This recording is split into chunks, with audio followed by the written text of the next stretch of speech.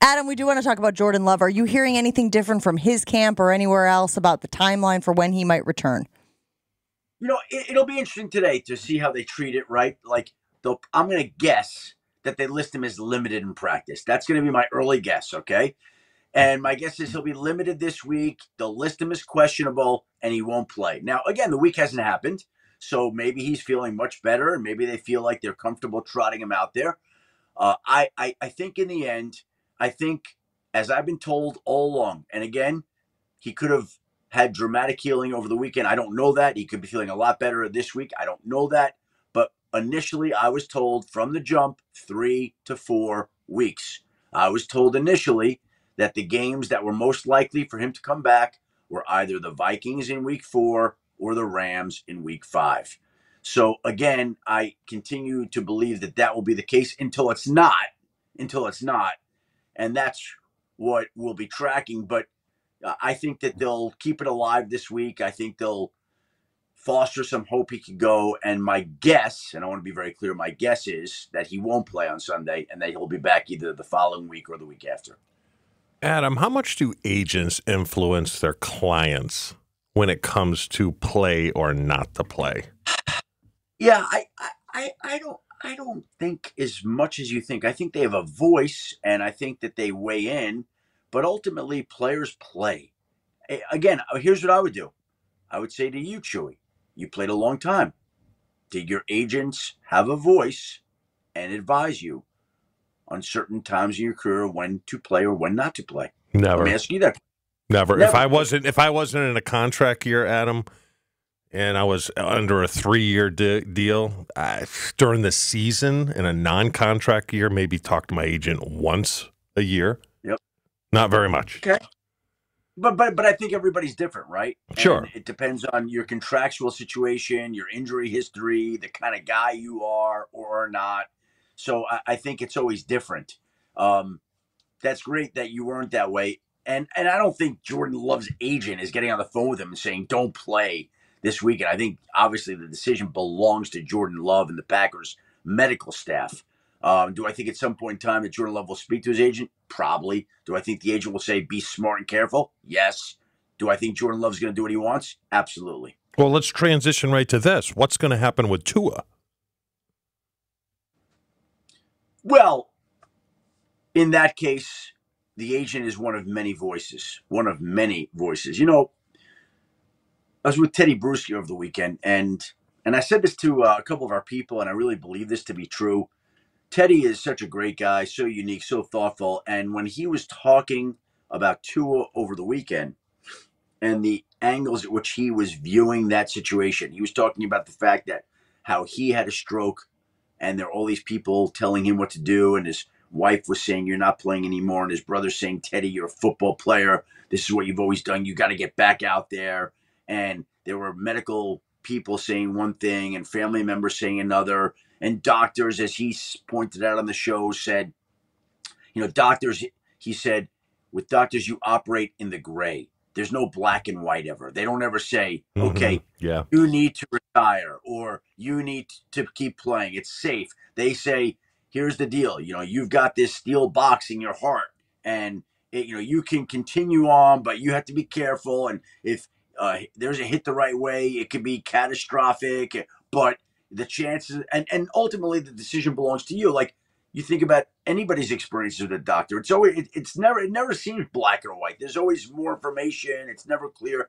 Tedy was going on and on about this, and it made me realize that Tedy has become our show's version of Tom Jackson, who was incredible on air, incredible off the air. They mm-hmm. played the same position, um, and I think that's kind of the role that Tedy has evolved into. And I, I, don't recall Tedy saying to me, and I knew Tedy's agent at the time, guy by the name of Brad Blank.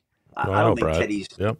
yeah, uh, yeah, Boston guy, yeah, right? Sure, yeah. I don't think, I don't think that uh, Brad waited. I don't think Tua's guy, you know, will will demand or order one thing or another. He may say, "Hey, Tua, I feel this way or I feel that way," but there are voices that are more meaningful and matter more. Doctors, wife, parents, and, and they will have their own opinions that Tua will factor in. Now, again, going into these meetings with neurologists prior to him being placed on the injured reserve list, sidelining him for a minimum of four games. My belief, my strong belief is he plans, he wants to keep playing. That's what he's wanted to do. Now, whether he actually does that, we'll see. He's got time to sift through this, have conversations with all these people to figure out what's best for him.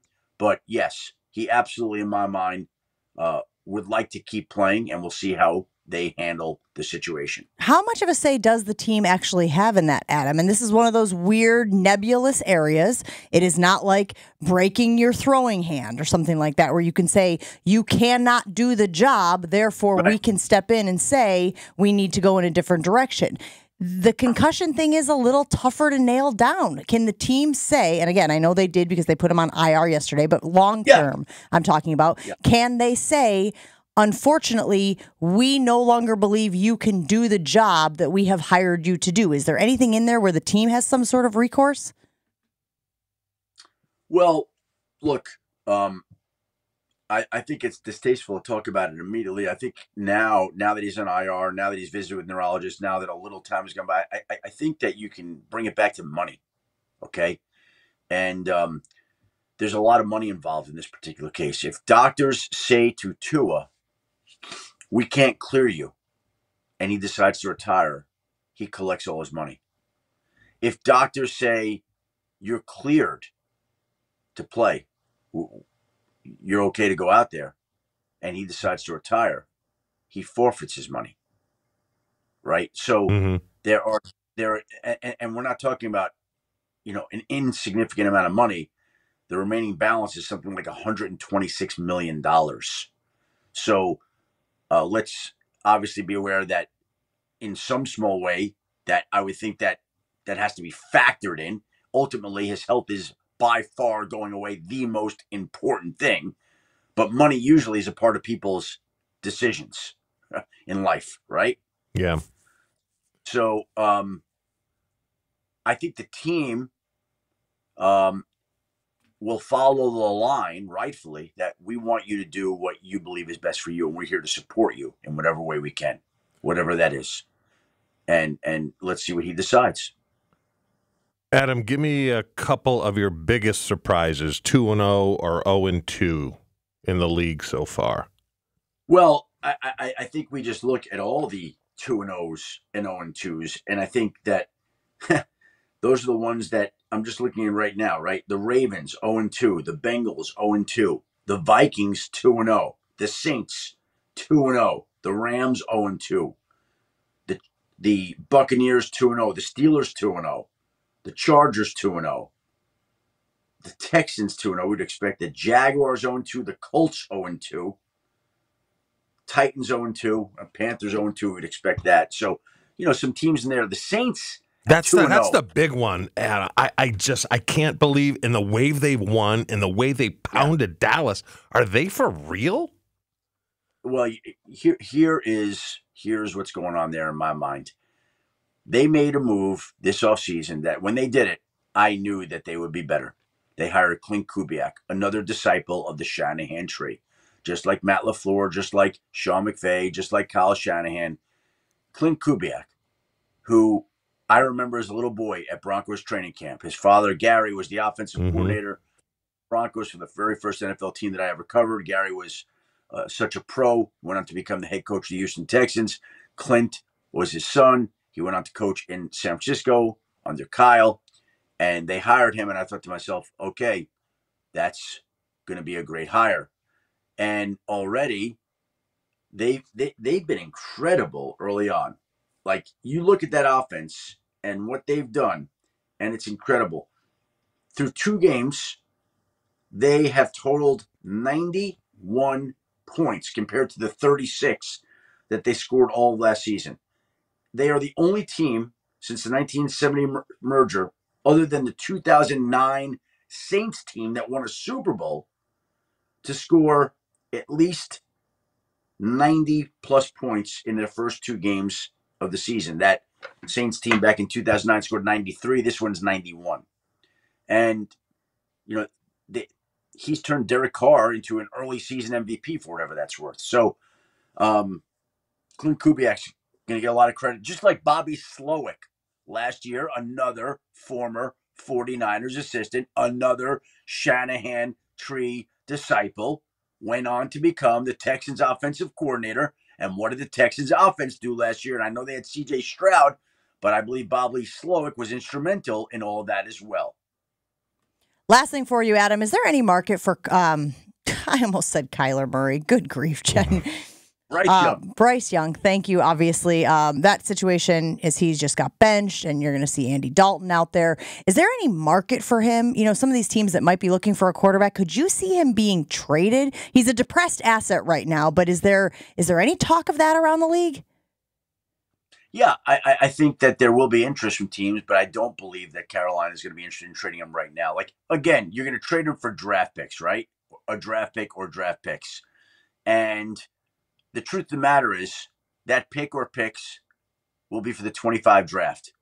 So you can trade Bryce Young after the season and get the same draft pick haul and have him be there in the event that they need to turn to him again, in the event that somehow he shows signs of a turnaround, which nobody expects. I don't think that's practically realistic. I agree, but you never know. Um, and they can get those picks later on. Now, if some team is desperate enough and feels like Bryce Young, who's been awful the first two games and the first 18 games of his career, is is an answer, and they're willing to overpay. Do I think Carolina would be interested? Sure, absolutely. Do I think there's going to be a team that overpays in season? No, which means that I think Carolina winds up holding on to him, and I think we revisit that very scenario after the season. And ultimately, I think he does get traded, but just not in season. All right, Adam, good stuff from you this morning. We appreciate you, and we will talk to you again very soon. Uh, Chewy, let, let me say this: if, if you do get detained in Turkey, I, I really enjoyed our time together. I uh, enjoyed working with you and getting to know you. It's been a great pleasure and honor of mine. And um, you know, if uh, if you know if, if if it doesn't work out there and you don't make it back, you know, you're detained there. Our thoughts are with you. I just want you to know that. okay? Adam, Adam, I will haunt you. I will haunt you the rest of your life. the list of people that you will haunt. He's number one. I was going to say it's getting longer. Here's the thing, Jen. I'm just telling you right now. Chewy's getting on that plane. He's gonna be thinking of me over the Oh, of course I am.